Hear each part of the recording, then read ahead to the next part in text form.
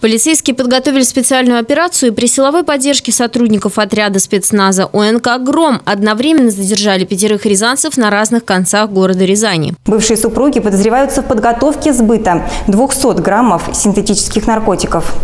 Трое рязанцев – получение от них через закладки наркотических средств для розничного распространения.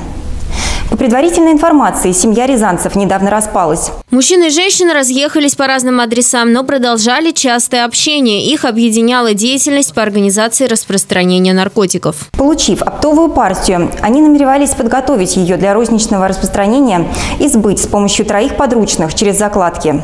Мужчина специально арендовал такси, но занимался на нем не перевозкой пассажиров, а транспортировкой криминального товара. Сотрудники полиции устанавливают все звенья цепи незаконной торговли наркотиками. В отношении злоумышленников возбуждены уголовные дела по частям 3, 4 и 5 статьи 228.1 УК РФ. По последней предусмотрено наказание в виде лишения свободы на срок до 20 лет, либо пожизненное лишение свободы. Трое из них арестованы, двое находятся под подпиской о невыезде.